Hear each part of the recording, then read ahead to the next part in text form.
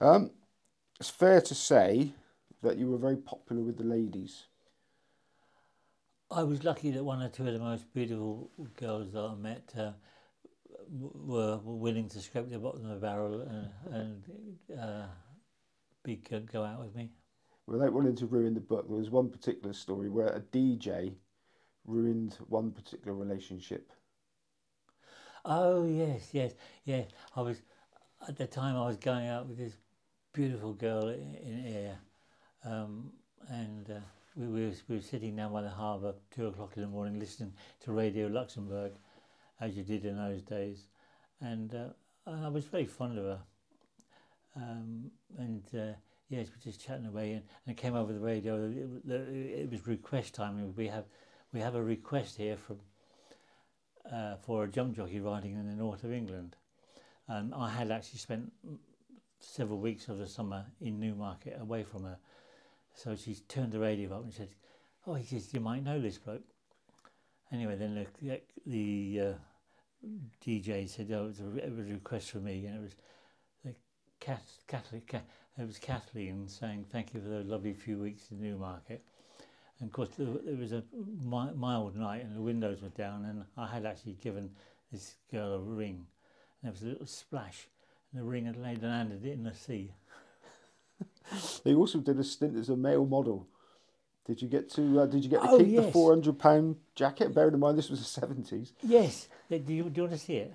You still got the jacket. I still got the jacket. I, but I could only wear it half a dozen, maybe eight times a year because it is so warm. It's fabulous. Do you want to see it? We better not get it no, now. No, but no, we... okay, yeah. I still got it. It's, it was a wonderful jacket. And that was in 1976 or 7. Yeah, that was, a, that was a nice few quid then, wasn't it? It was a lot of money. It's a fabulous jacket. Apparently, it took six sheep to make it. Now, I, it, a lot of you don't want to spoil the book for people because it's a well worth reading. But I'll bring up a few stories from it. The, the book is only really available from the National, uh, uh the Newmarket Horse Racing Museum now. Okay, yeah. so people can still get, can still get it. Oh yes, yes. Um, now I must admit I nearly dropped the book at the end of the Earl Jones chapter. now you tell us a bit about Earl Jones because what put well you know tell us a bit about that and that what happened to him because I, I can you know. oh, uh, what a wonderful character he was. I'm so sorry that I, it was I was quite late on, on in my career that I first met him, but what a tough bloke he was. Um, I was riding this, this horse called Neiman, and um, he, he, he was I was instructed to give him easy races, you see, because the owners were uh, Birmingham Mafia, they called them, um, gangsters in, in Birmingham, and uh, anyway, we won this day at Warwick. It was a two mile five novice hurdle, and I knew the ground wouldn't suit him. And it was a cold day, so I'd put an extra pullover on under my colours, and gone out there. And he looked at me a bit serious, and he said, "You're going to have to do your best today, mate." I said, "It's too far for him, and he won't like this ground." He said, "I've told him." He said, "I've told them." He said, "But they want to back him." So do your best. So I did my best, finished fifth, sixth, something. And there was a, and there, apart from the failure of that horse to win that day, there was a, some sort of political thing going on uh, to do with the price of the horse, apparently. Anyway, that uh, later that week, I got a phone call, and the, it was the police from Warwickshire. They said, you know, don't answer the door to anybody next day or two without knowing who it is. And then, because Earl had been kneecapped that night, that afternoon, he'd pulled up um, where he parked his car, and somebody had been hiding in the bushes and blew his kneecap away with a 12 bore. Bloody hell. So that, what, what happened to him after that? He, he, he was never the same. Um, I went to see him in hospital and I met him once afterwards. Then he retired to Ireland. He went off to Waterford and retired and he died some years ago in his 80s. Wonderful bloke. Tough as old boots. He, the first road, first time I first ride I had for him, because the, he was he was known as Killer Jones because his horses used to take a fierce, fierce hold, and they didn't fall. They didn't, fall much. They knew how to jump, but anyway, he had this this reputation in the weighing room.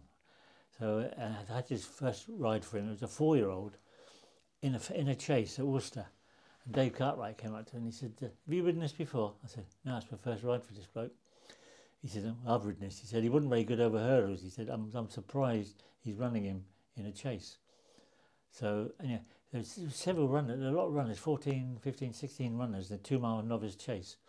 So I was, I was quietly out of the out of the starting gate, went round, finished fourth. He jumped all right, but he, he was quite small. But I, I, was fairly cautious. I mean, he told me to give him a good run round. And uh, anyway, as I slid, slid off, landed on the ground, he, he leaned over and in my ear he was gave made, made a pointed remark. He said, uh, "If you ride this again, he said, you'll give it a ride, will you?"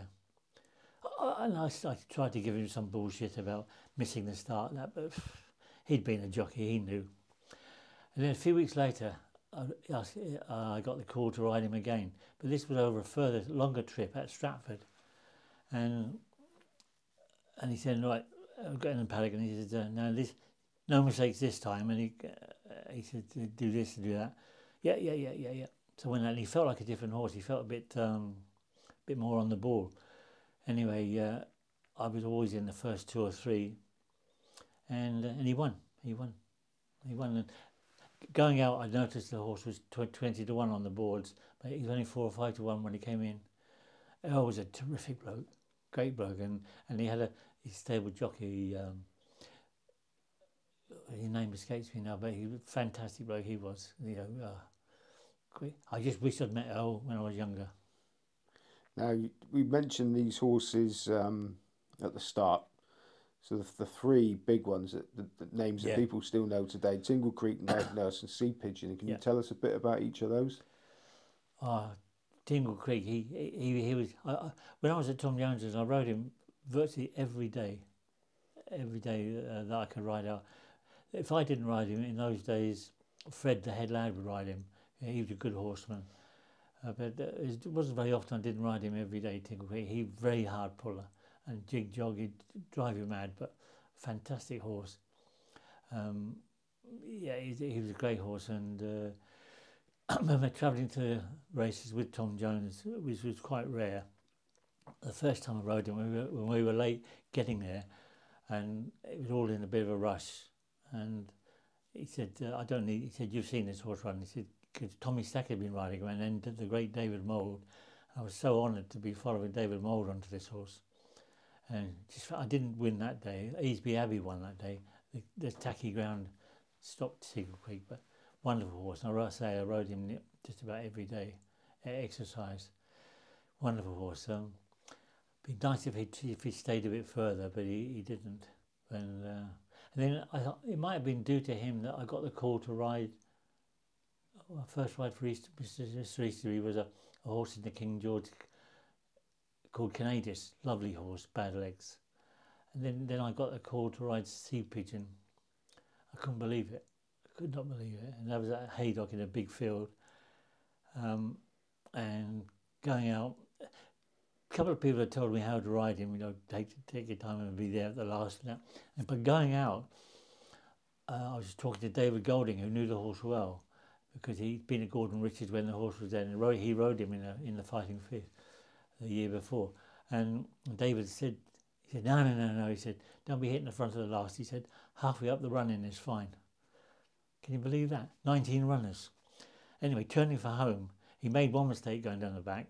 And I, I was riding quietly, like David said. And turning for home, I was last or second last of 19 runners. And I was still seventh, jumping the last. And there's a picture of him over there. And I was seventh, jumping the last, and I won three or four lengths with 12 stone 2 on his back. What a horse. And I, I rode him twice more and he was just unbelievable. Unbelievable horse. And then um, Night Nurse, oh, Night Nurse was an icon. I mean, I, I'd watched him run with Paddy on him, Paddy Broderick. And, and then Paddy got hurt and I rode him I rode him in a couple of hurdles. I rode him in the Scottish champion hurdle first time and uh, oh sorry, um, uh, um, uh, Peter Easterby said that I had gone hadn't gone fast enough early on. Um, well, it's the first time I read him. I, I thought I was going like the wind, but but I finished second to Sea Pigeon. That was the race in which Golden Signet fell at the last. He looked like he would have beaten both of us, uh, but he broke his neck. uh, at the last. And then then I rode Night Nurse in the uh, big sponsored hurdle race at Haydock. He had a lot of weight, and I, I finished third to a very lightly weighted horse of Fred Rimell's. He, you know, he was very fortunate to get in with that weight. And then the Night Nurse went chasing the next season, Jonjo rode him first time. Something happened. They didn't. They didn't complete the course. Um, I don't know. I wasn't there. And I think it was a Market Rasen which seems a funny course to start him off at, but that's where he started off over hurdles. And I went up to Wetherby. I, I, I, went up to Malton to ride him schooling a few days before the Wetherby race, and I, I couldn't sleep all that night. Yeah, it was, it was just great to go up to ride that horse, and, and uh, um, but unfortunately, the Wetherby race was the day after the Newton Abbot. But luckily, I had a chauffeur with Jeff Pierce, and uh, went up there and he won. Fabulous horse. I won five five chases on him. And unfortunately got beat in that one, uh, the picture of it is there, by a much fitter horse, Silver Buck, who had run the week before apparently, but Night Nurse hadn't run for 11 weeks. So I was asking a big question of him, but that was the last time I rode him. But then three, four days later, my career ended.